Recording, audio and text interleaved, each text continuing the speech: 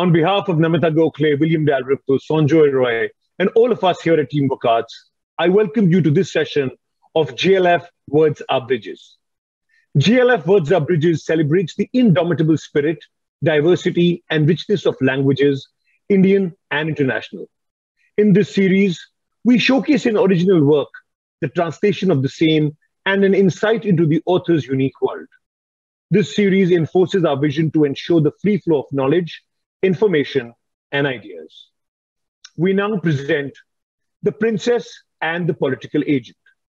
L. Somi Roy in conversation with Preeti Gill. The Sahitya Akademi award winning Manipuri author Binodini's book was recently translated into English as The Princess and the Political Agent by her son Somi Roy. A moving and an evocative novel, it is based on the love story of her aunt, Princess Sanatombi, and Lieutenant Colonel Henry P. Maxwell, the British representative in the subjugated Tibeto Burman kingdom of Manipur. Woven together with a deep sense of sorrow, empathy, and wit, the tale follows a forbidden love story in the midst of the Anglo Manipuri War of 1891 and unfolds Manipur's complex relationship with India and the British Raj. In conversation with editor and literary agent Preeti Gill, Roy unfurls a tragic account of love, war, and pride while exploring the many nuances of the translation. L. Somi Roy is a writer and the translator of his mother, the Manipuri writer Maharaj Kumari Binodini Devi. The princess and the political agent, his translation of Binodini's historical novel came out as a Penguin Modern Classic in 2020. His retelling of Manipuri myths titled And That Is Why was published recently as a 2021 Puffin book. Preeti Gill is an independent literary agent who has more than 20 years experience in the publishing industry as a commissioning editor and rights director. Preeti has traveled extensively in the northeast of India and written on issues of conflict and women. She is the editor of the Peripheral Center, Voices from India's Northeast, as well as Bearing Witness, a report on the impact of conflict on women in Nagaland and Assam. Her writing has appeared in numerous journals and anthologies, including 1984 In Memory and Imagination. Her documentary, Rambuai, Mizoram's Troubled Years, co-produced with Sanjoy Hazarika, was released in September 2016. She has edited She Stoops to Kill, an anthology of murder stories by women, as well as Insider Outsider, Belonging and Unbelonging in India's Northeast. Her edited volume of non-fiction writings on Punjab will be published this year. Ladies and gentlemen, we are delighted to welcome our wonderful speakers for today. And now, let's begin our session. The Princess and the Political Agent, L. Somi Roy, in conversation with Preeti Gill. Congratulations, Somi, on this really lovely translation of your mother's groundbreaking novel, The Princess and the Political Agent. Um, I have really, really enjoyed reading this wonderful story of, of uh, you know, the love between the two of them. But before we go into the story, tell us a little bit more about your mother uh, Maharaj Kumari Binodini and her prolific literary life because she was a translator, she wrote short stories, she did radio plays, screenplays, um, she uh, did uh, also dance dramas and song lyrics. There was such a lot that she uh, managed to put together in a really full literary life. Uh, tell us a little more about her and about you growing up with her. Thank you. Uh, thank you, Preeti. It's lovely to be with you again, uh, virtual, uh, in the virtual space. Um, I'm so glad you enjoyed the translation. I, we put a lot of work into it, Penguin uh, and I, uh, because this is a major uh, work by Binodini. She only wrote under one single name, Binodini. Um, and this is the historical novel based on her um, um, aunt, uh, Princess Sanatombi, the uh, daughter, the eldest daughter of the deposed king, deposed by his brothers and then by the British. And then she marries and becomes the consort of the British political agent. So my mother's question was, why would a, why would a princess marry her enemy? What was going on over here? So she herself grew up in the palace as the daughter of Maharaja Churachan um, Singh, 1891 uh, to 1941, and his queen, Maharani Dhanamanjari. She was the fifth of five daughters. They had no sons. And, um, but the couple spared no effort and expense in educating the women, along with the sons from other wives. So she went to school, uh, even though first she was tutored at home by English governesses, as was the practice at the time. And then she went to Shillong, and there she became uh, enamored with leftist ideology. Now, this is a princess who becomes something, yes. leftist. Okay, so this is not. Uh, so she there was a uh, anonymous pamphlet to defame her father called "The Red Princess of the East." Uh, because there was a triangulation between the Indian national movement and the British and the king. So um, she was a very unconventional woman, to say the least. And then she had her uh, horizons broadened under the influence of Tagore and Santiniketan. And she was uh, actually five years older, five or six years older than her classmates. And she already had translated Russian literature by the time mm-hmm. she went to Santiniketan. She had translated Maxim Gorky's mother, for instance. So she was already uh, exposed to Bangla literature. She was very fond of Kalidas, uh, uh, Sanskrit lit- literature, uh, Bhushan, Bandyopadhyay, uh, Sarat Chandra was her great love, Tagore, obviously, so, and Western literature. So one of the things that we have to remember that, that she is that is that she comes out of Santiniketan. And as a result, um, she was also a very good sculptor, and we mm-hmm. are planning an exhibition of her work as well for her centenary. Um, she, it is kind of easy to pigeonhole Binodini and say, oh, here's a Manipuri writer or a Northeastern Indian writer. Uh, she's actually a, a, figure of world literature, I think. And I'm not saying this merely as a son, uh, but I'm here. My work is to uh, preserve and promote her legacy. And so I've come to uh, the realization that here's a woman who loved Virginia Woolf, who used graphic devices in her uh, in her novel, uh, *The Princess and the Political Agent*. Um, she's a modernist writer of world literature. And uh, I don't think Binodini can be understood properly just within the Manipuri context. I think she has to be understood as a national Indian writer who was influenced by the modernist movements that were coming to Santiniketan at the time. She was the muse of Ram Kinkar, as mm. uh, is famously known.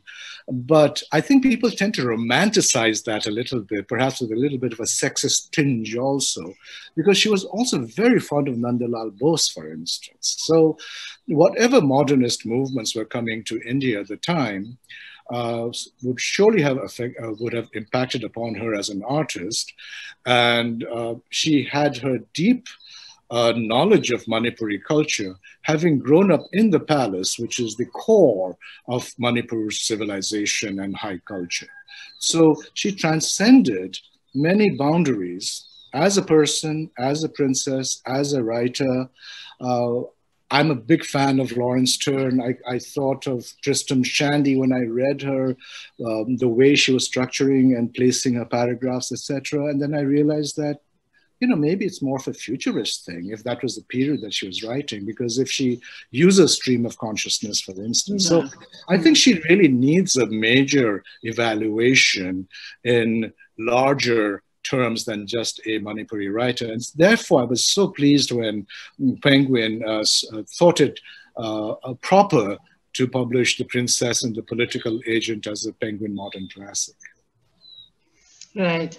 And uh, what was it like uh, actually growing up with her because I remember reading here uh, in your introduction somewhere that you say uh, you actually started translating her while you were in school and she used to like your translation. So it's, what was that like growing up with her? It's terrible. It's terrible being this, the child of a writer. Because, you know, uh, I think it was F.R. Leavis or someone who said Jane Austen's gray eyes of a viper. I mean, they always see everything. Writers see everything. They're, they're so perceptive. They're like a very sensitive antenna. When I translate her work, I can see parts of her literature that are from our family law that I did, for instance, things that I said or things my, my dad said. And so everything is fodder for her literary art. It's not easy, you know. Yeah. So I got, I, I was very self-conscious what might end up in her work because she was always observing things, and she would not hesitate and come to comment about the way you said something, for instance, if it struck her, you know. But as a little child, it was difficult.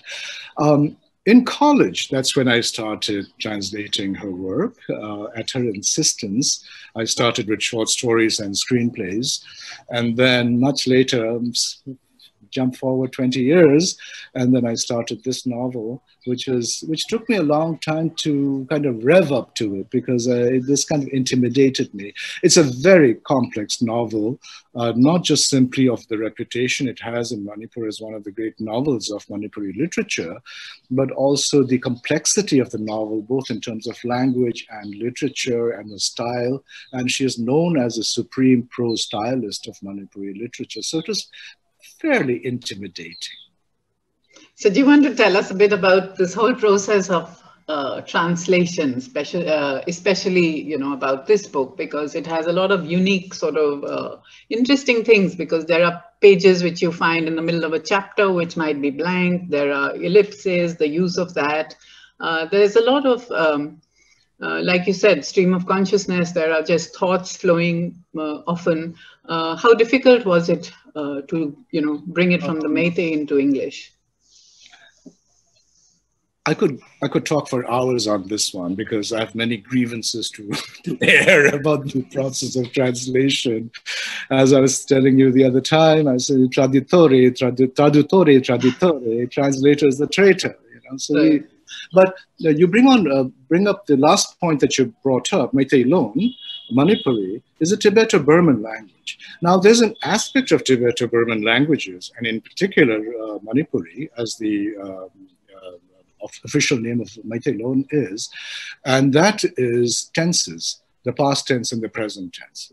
Um, we don't use, we do have past tenses, but in prose, you actually do not use the uh, past tense once you've established a time frame. You don't establish tenses by past and present by syntax but you actually do it semantically. You know, it's kind of the content and the context of it. Like as my friend Yashavanta, who teaches linguistics, was saying, we would say in Manipuri, "Garang ma chatli, which means yesterday he goes, literally. Mm. Not yesterday he went. So, so the time frame uh, is always diff- uh, is is a prob- uh, is a problematic thing, but it was fairly easy with the other translations of essays and short stories and radio plays and so on. Um, but for this one, because it jumps in time back and forth between three eras, from the present to the past to the to a historical past, and she she demands that the reader keep track of this time. There's a, a reader response that Binodini requires from the reader. She's, this is not a simple read. It's a very rewarding read, but it's a very complex read. I hope you'll agree with me. Mm-hmm. Um, so the jumping back and forth in time meant that I had to work very carefully with my editors at Penguin uh, to make sure that we were using the different tenses to indicate uh, much more than in the original Manipuri, we had to indicate uh, the, whether it was the present tense or the past tense, or the past past tense, for instance. So that was one thing about um, uh, the characteristic of the language itself, which is inherent in the language, that is was a challenge interesting challenge. The ellipses that you point out, the mm. graphic devices that you point out, she, you know, we had a big, long argument, uh, Tunika and I, about can you start a sentence with an ellipsis? Ellipses, she says, yes, it should be at the end of a sentence, three dots or three dots in a period. I said, yes, we know that, but how come Binodini is starting with nine dots, nine periods in a row? So we so we had to go into the intent of the writer as, as a literary stylist, and we came to the uh, uh, agreement that this is Binodini style and we have to preserve it. Because what we came to realize is that Binodini was actually uh, um, controlling the pace of reading as the words are being read off the page. Similarly to the pages that have single lines or two, two line paragraphs or the jumps, we actually exaggerated that in the Penguin edition, lest people think that it was a mistake. Mm. It was bad enough that people in Manipur were saying, "Oh, there are commas missing, and that's uh, and full stops missing in that passage," and I'm saying, "Well, geez, actually, you know, was a big admirer of Virginia Woolf, you know." Um, so so the graphic devices on the page was another style that we had to keep. But the biggest challenge, I think, was something that I had to wrestle with by myself, and I could not get the help of my wonderful editors at Penguin, and that is Manipuri as a language has three or four different forms that she is using here. You have the common Manipuri, and from the manuscripts in the passages of song, for instance, the ballads that are quoted that Not Guilty sings, it is Aribalon, which is the ancient Manipuri, the old Manipuri, archaic. It's like Chaucer. So it's like Middle English that she was using. And then on top of this, there are honorific languages. There is a lexical archive of honorific words. We do not use the same word for eat or to go or sit, with people that you respect. It's not just a matter of adding G or PA or you know the the right. likeness. Yes, you can add the the please, uh, but there is a different vocabulary. And on top of that, and this is what Manipuris also don't know, especially the young people, is that there's also palace speak. There's a sociolect of royal talk that is confined to the palace and to the princesses. So the way they address each other, the way they talk, my lord, every character was, um, uh, the king was addressed in six different ways, depending on who was talking to him in what context. And these are finer points of translation that unfortunately I had to rule to kind of iron out because I had to put it into one language, the target language being English. But also on top of this, because of, it's a historical novel, she uses other languages as well, like Bangla, like Sanskrit, like English, like Hindi, and depending on who's speaking it, sometimes it is broken Hindi, broken Manipuri. Depending on the character, Maxwell's way of speaking Manipuri is different from the way the queen speaks, for instance. You know, so these finer points, I'm afraid, had to go.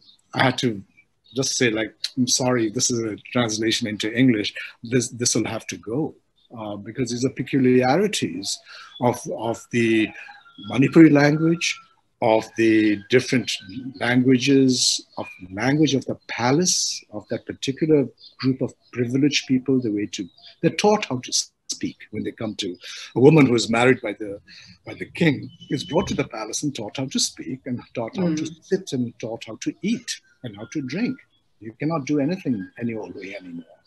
So, and then of course the we have, I counted seven different languages that she was using. So it was a it was a interesting challenge, uh, difficult, but I think um, I was happy with the project, and I think Penguin was too. Yeah, and it sounds completely fascinating. Also, I mean, I'm sure it was difficult to wrestle with all these uh, problems, so to speak, as they came up. But uh, it is really a fascinating uh, what you've described. Uh, do you want to also read a little bit and show us exactly how you do this? Um, you know, because uh, of the modernist movements, my mother was born in 1922 and she went to college in 1930, 38, 39. She had to drop out because the war started coming. The Japanese started coming to Burma and was knocking on the doors of Manipur at that time. So, um, so one of the things that interested me was her interest in nonsense poetry, which is, if you think about the ellipses and if, if you think about the way she's playing with time and the disregard for this, at the same time, very rooted in this, it could be part of the whole.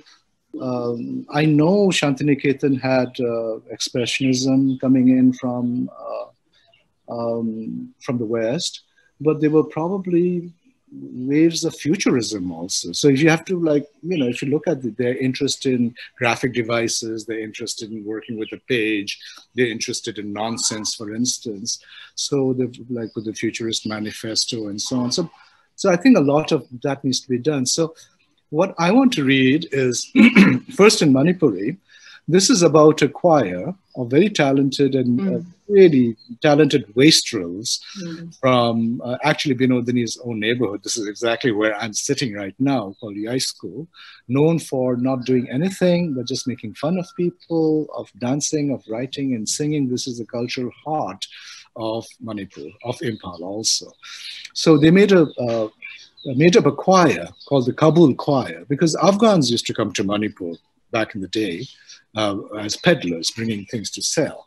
So they made up a choir called the Kabul Choir, and they had a song. And I remember my granduncle actually reciting this to my mother, and she was doubled up in laughter. And she and then she included it here. So this is a real song that was composed uh, the, during the time of her father. And so this is the Manipuri version, the Manipuri original. Excuse me. Nomaning them chura channa sindana konungda kabul pala kauraga changyeng tawre.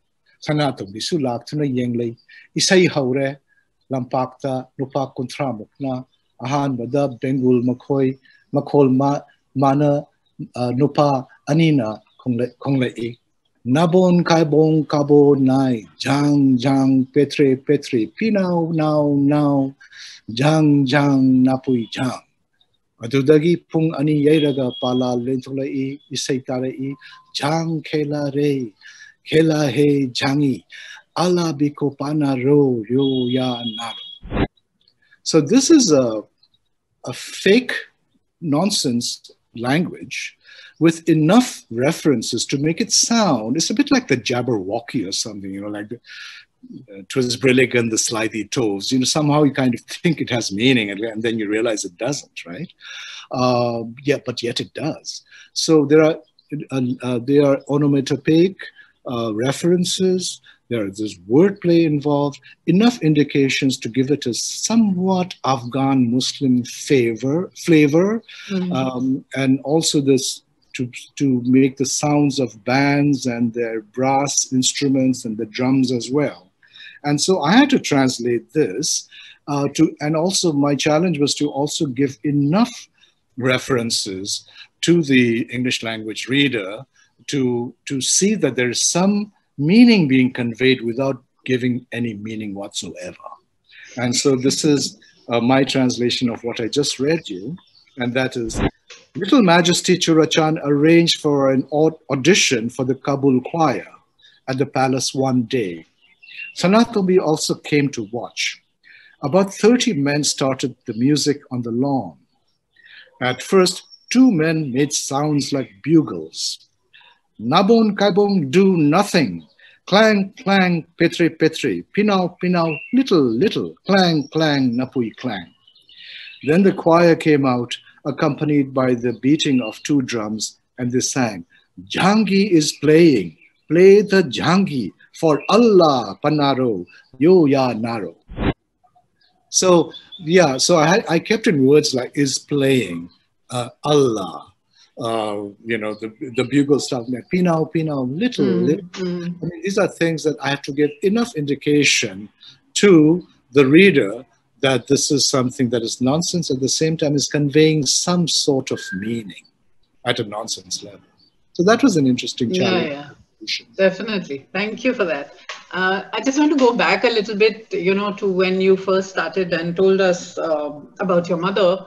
and uh, you know using this little bit of personal history of the family and uh, writing this uh, uh novel uh, because she calls it a novel even though it does have some basis in a real story of her own aunt and of course maxwell the political agent um, but this airing of a family scandal so to speak which was supposed to be long buried and you've also written that you only heard about it in song or in, in some kind of stories of long ago.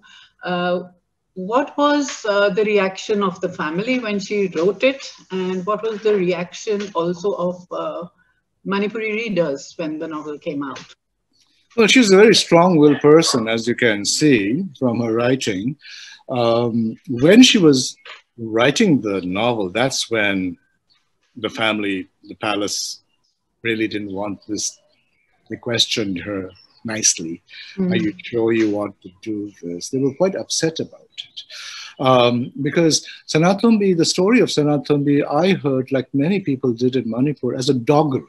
Sanatombi, Mangle, Mangle, you know, just something that we would recite, oh, she's lost, she's all you know, she's messed up, you know, that kind of thing, because she became unclean and she was mm. ostracized as a result of her actions and her, her life was scandalous. It was a huge scandal.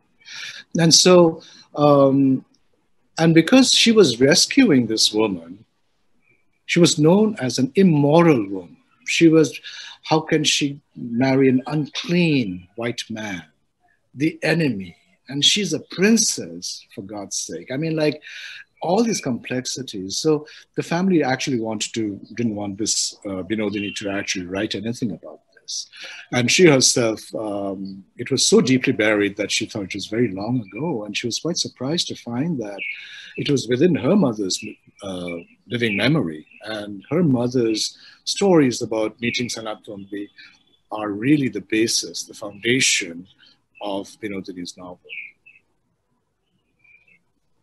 But when the novel came out, I mean, people had been always, you know, she was, uh, all her work until then had been about ordinary people from all walks of life. There was no indication, if you read her earlier work, there's no indication that she was a person of a very unique and privileged background. This one really put it out there in terms of the inner knowledge of, of the mores, of the manners, the customs, the long descriptions of royal jewelry, of the kind of clothes they wear, the way they speak. Now, these are things that um, uh, an artist actually brought out very effectively, but it was something that most people were curious about and had lost uh, knowledge of. So that was one thing that came out. Women adored Binodini. Young women adored Binodini. Here's a Manipuri woman. Oh, like me. Look at her. She can do this. And so they claimed her as a feminist.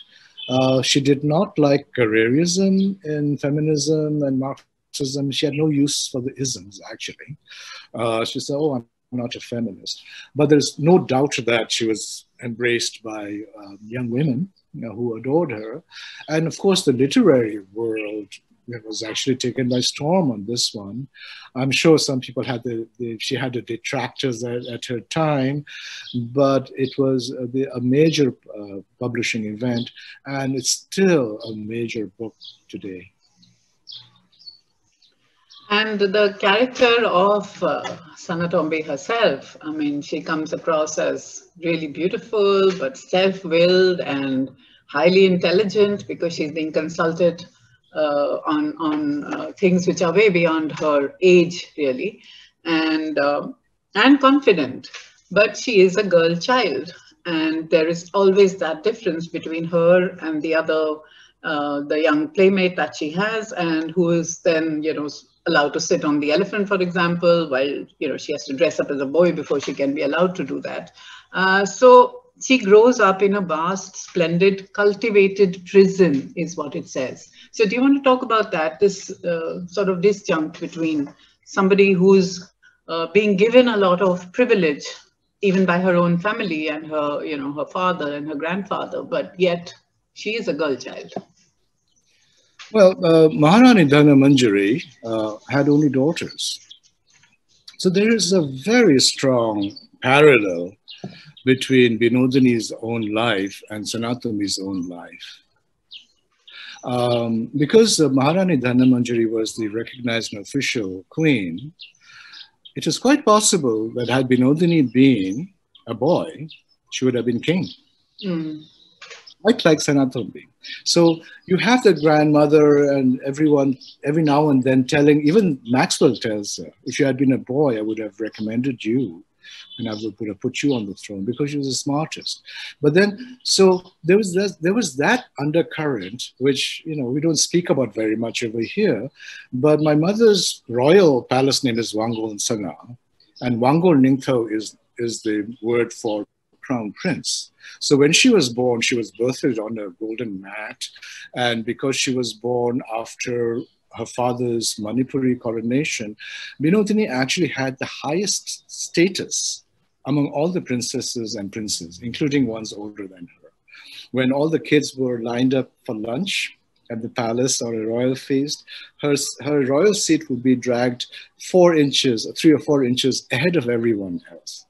So even though she's a little thing, and they had older sisters and brothers and so on, so she had a very privileged thing, and the denial, which of of the of succession to her uh, to her mother's uh, was was uh, was uh, something that her mother felt very deeply. Maharani Dhanamanjari just could not bear the fact that every child she bore was a daughter, because the one that was the first son that she bore would would would, would be on the throne, even to the last one, Binodini. That's why she said, "I'll make my daughters better than all the sons that the king has," and that was a vow apparently at one time. Um, so there's a lot of parallel in that one. And then Binodini is also rescuing from certain obscurity uh, two other women, uh, the uh, Queen Mother and the, the Grand Queen Mother, the two, the, the Ranis, you know, the Maharanis, both of them. So the training, the political analysis is very acute, it's very sharp the, why the British were doing this, the impact of the Sepoy mutiny, um, what is Burma going to be doing about this, you know, how does sibling rivalry play into this? Why should why would someone surrender a prince to the British, for instance? Where did things go wrong? The historical analysis, the political analysis of the Anglo-Manipuri War of 1891 that Binodini gets into this book, I thought was extremely sharp. And it is kind of, it, it, reflects the conversation that she obviously had with her father and her, and her mother. And you can find that in her book of memoirs, the palace memoirs called The Maharaja's Household, which Zubaan also published, uh, uh, my translation that they published. And so the, um, what you have is basically a woman who is looking at other women and saying these are two women I admire very much in history, relating it to Sanatombi and Sanatombi's own position in the family and in succession in a patriarchy. Uh, because even though Manipur women, women are very powerful, sometimes people say, oh, Manipur is matrilineal or matriarchal. That's not true at all. Manipur is a patriarchy.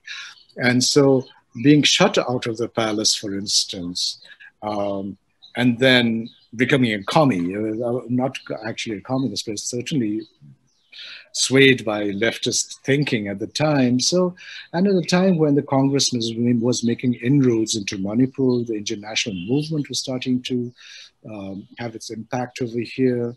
Uh, they were beginning to question the monarchy and the impending democracy that was coming. So there was a lot of political uh, winds that were blowing at the time. Um, so Binodini is interesting because she comes from one world and then she makes a very successful transition into the into modernity, quite unlike many other princes and mm, princesses mm, who just kind of stayed in their privileged uh, social stations. Yeah, Bill, that's uh, in the novel uh, and in this translation of yours um, in the story, there are so many strong women characters. You've named some right now. Uh, and they are a reflection of the, you know, the strong women of Manipur because one always hears about that. Mm, the women's market, the Ima market, the Meira Paibis, uh, you know, the the Nupi Lans, were there three of them uh, also against the British and earlier? British. Um, uh, the first one was the one that my mother describes in the novel, which mm. is hmm. against Maxwell, and where Sanatombi gets right. okay. caught in, mm. uh, caught in the middle of. And then there was one uh, before the uh, outbreak of the uh, Second World War. For rice, and there was something. Because you know, at the time of the Bengal famine right. and all that, okay. they were also taking rice out of Manipur. Um, and so the uh, so there was another uh, protest, uh, women's war led by the women. And the fulcrum of all this, as in the novel, when the British want to say something, they put notices up in the women's market. That's where the political discussion mm. takes place. Mm. That's where radicalization takes place. That's where groups start forming. That is where uh, agendas are created. So even today, the women's market is a very powerful social institution. Yes, and then of course uh, you already mentioned the very obvious, uh, you know, patriarchy. So whether it's in the rituals in the palace and the the or what one sees in Meitei society, uh, it is obviously uh, patriarchal. Uh, and then uh, the other thing that um, you know this other symbol of Manipuri pride is the fort Kangla. And uh, I'd like you to talk a little bit about that because, of course, it features here as the place that the British take over and then destroy little bits of it, including the two uh, sort of sentinels that stand there. And uh, and what that means, you know, like a blow kind of thing too, because it's sort of uh, a breaking down of the of the civilization of the of the Meiteis. And then uh, also, you know, so much more recently when the Indian security forces uh, took over the fort and then they were ensconced there and then how there was the, the protest uh, by the elderly Imas uh, in front of the fort. So this long history of, of actually this being a symbol of uh, the pride of Manipur. The, uh, I'm glad you brought that up. The uh, Kangla fort in the heart of Imphal is the core of Manipur's existence and identity. It's a moated fort, it's actually a double moated fort. Um, and um, we are not a material culture, so there are no big monuments. It's really more about worship and shrines and manuscripts and performance that uh, Manipuri high civilization is based on. But Kangla had these, in the palace, had these two um, mythical beasts, these leogryphs, um, and um, I was uh, walking in Kangla with my uh, friend, Dr. Tin Maung Chi uh, uh, from uh, Mandalay. And um, he said, oh, look, Chinthe. And I said, yeah, they are Chinthe because Chinthe, Chinthes are the guardian uh, mythical beasts outside of every pagoda. And this is a, an icon that comes actually also from south, southern China. But our Kangla Sa uh, has horns. And that's what the, the, the, elderly doctor immediately said, but you have horns. I said, yes, because these are the, the Manipuris like to put Sangai antlers on headdresses and boats and house decorations and so on. So, um, so the Burmese chinthe uh, was adapted and made into the Kangla Sa, and it was first uh, built with, uh, in, um, uh, in the 1800s. And then when the Burmese occupied Kangla, uh, Kangla fort from 1819 to 1826 for seven years, they destroyed it, the two. And the succeeding king, uh, my mother's ancestor, Maharaja Narasingh, he rebuilt them in 1844. It becomes a symbol. So when the British officers after the uh, ill-fated meeting, uh, when they actually come to arrest uh, Prince Koireng under the guise of something else, um, when they are slaughtered, their blood is smeared over the mouths of these two beasts. And so on the 20th of June uh, of, uh, of 1891, three months after the war was over and British had occupied Kangla, which is very important for them to say we're in charge, we are, we are in power, they blew up Kangla, mm. the, the two Kangla beasts, the doors. And that is, that's the one that uh, Sanatombi, it really gets to her because she had played at the foot of these mythical beasts as a child. This was her father's palace. This is where she grew up and it fights with Khoi. You know, so it was a huge thing. But even today, for all Manipuris, the 1891 loss of sovereignty is a big, you know, still sticks in the craw. Mm. And like this is when we really started losing what what we are and who we are. And so a lot of the turmoil here, I happen to think, and I'm no political scientist, like I'm no social researcher, but I do think that a lot of it goes back to 1891. What happened? Because that was when Manipur, even though Maharaja Churachand, Binodini's father, was the king, um, it essentially became part of the British Empire. And Manipur became a buffer state between the East India Company and Burma, because Burma is always marauding and taking people uh, uh, into slavery and so on. So it was a big, uh, powerful neighbor, militaristic, next to Manipur. So, and our orientation at the time was all about Burma.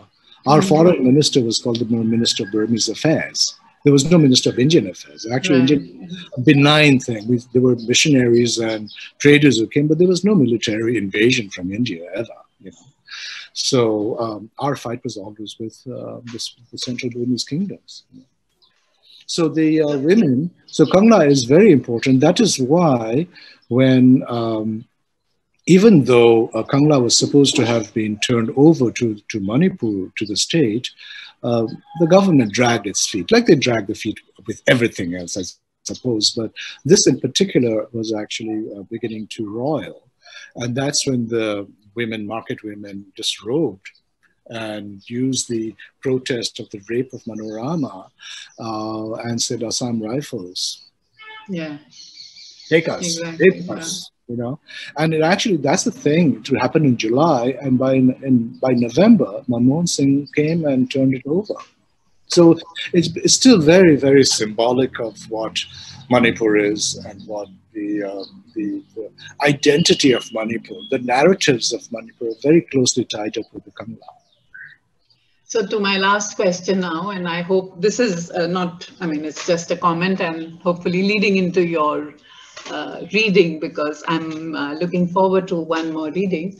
Um, so this is again the women when they come to the residency and and uh, you know for the first time they uh, I mean there are of course she's always being called the defiled and she's being called the native wife of the uh, the big sahab but now all their terrible words uh, you know come home to her as it were and she actually suddenly understands you know where she is and that she is among the foreigners. And these are her people and that's where she actually belongs and which is why i think she doesn't want to leave manipur even later.